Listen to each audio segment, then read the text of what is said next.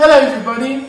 As you can see, I'm in India, precisely Agra Uttar Pradesh, in front of one of the seven wonders of the world, the Taj Mahal. It was built over the course of 22 years, from 1631 to 1653. Over 1,000 elephants were used to transport all the building materials, and it took 22,000 people to build it. Why was such a majestic construction built in the first place? The Mughal Emperor Shah Jahan built it as a tomb for his favorite wife, Empress Mumtaz, who died giving birth to the 14th child.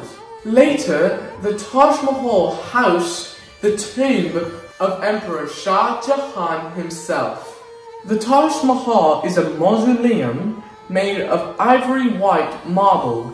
It stands up to 240 feet tall and it is surrounded by 55 acres of beautiful gardens with manicured flower beds, tall trees, and water fountains. Even though the original Mughal architecture used red sandstone, Shah Jahan promoted the use of white marble, semi-precious stones.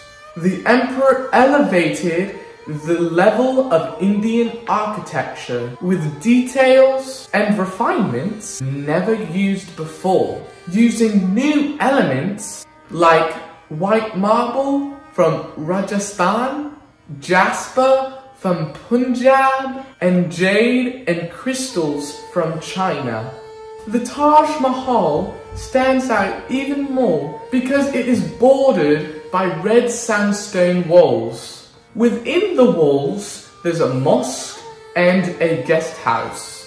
Outside the walls, there are several mausoleums that house Shah Jahan's other wives. With the tomb in the very center of the whole complex, the Taj Mahal stands on a square plinth. The whole construction is very symmetrical, with an arched shaped doorway called an Iwan, topped by a large dome and finial. The base of the structure is a multi-chambered cube with beveled corners that form an eight-sided structure.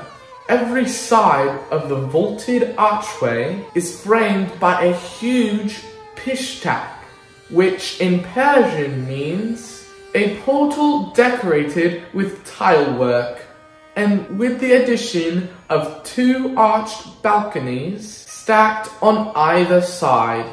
The design of stacked pishtak is what creates the perfect symmetry of the building.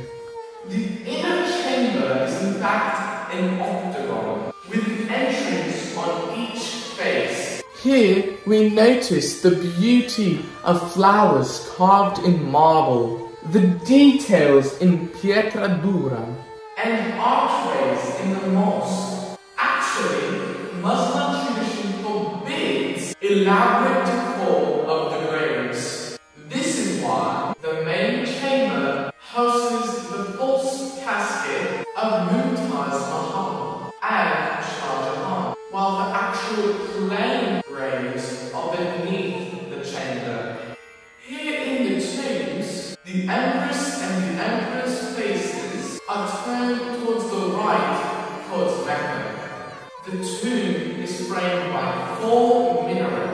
which is a type of tower normally built adjacent to the mosque, used for the Muslim call to prayer. At the top of the construction is the dominating dome. It is often called an onion dome because of its shape. The top is decorated with a lotus design or an aquatic flower. The mosque also has four smaller domed kiosks at each corner, and these are called chattris. The roof was designed to also provide light into the interior. The dome is topped by bronze finials, which mixes traditional Persian and Hindustani elements. The main gateway is a structure originally built in marble, which replicates the architecture of the complex. At both sides of the gateway are two red sandstone buildings facing the sides of the tomb. The Taj Mahal shows the best example of Mughal fine art and architecture, with elements like paint, stucco, pietra dura, stone carvings, calligraphy, abstract forms, geometric motifs, precious and semi-precious stones. Without a doubt, it represents the symbol of India's rich history. This wonder of the world attracts millions of visitors every year.